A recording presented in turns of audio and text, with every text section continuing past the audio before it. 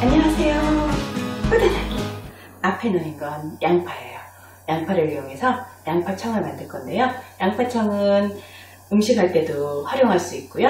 그리고 요거를 발효시켜서 따뜻한 물에 티스푼으로 한, 한두 개 정도 타서 드시면 건강에도 좋고 그래서 제가 오늘은 양파청 만들어 볼게요.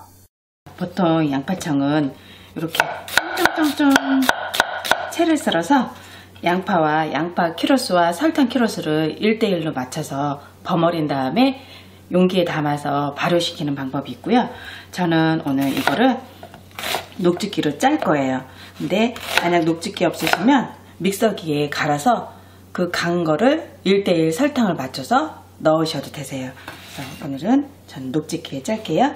녹즙기에 짜면 얘가 즙만 나오잖아요. 그러면 설탕하고 발효시키면 보통 100일 정도 후에 양파를 꺼내거든요.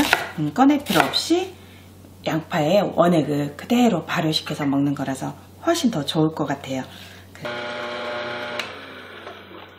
녹즙기로 짠 양파 건덕지예요. 요거는 면보자기에 이렇게 넣어서 한 번 더 꼭 짜세요.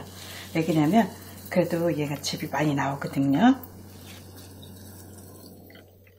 양파 1kg를 녹즙기에 짰더니 즙이 700g 나왔어요. 그러면 여기에는 즙을 내서 원액이 양파 원액이 된 거잖아요. 그러니까 설탕을 1대1로 하지 마시고요.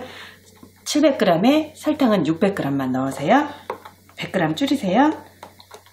즙을 냈기 때문에 양파에 그 즙에서 당분이 생기거든요.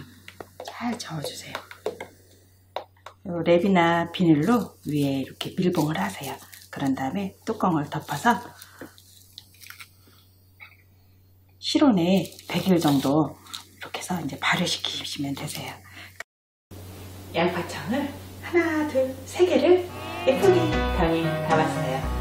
생강청 100일 후에 발효시켜서 음식할 때 쓰셔도 참 좋은 양파청 한번 제 영상 보시고 담아보세요. 가시기 전에 구독, 좋아요, 땡땡땡 꼭 눌러주고 가시고 자주 자주 놀러오세요. 안녕히 가세요.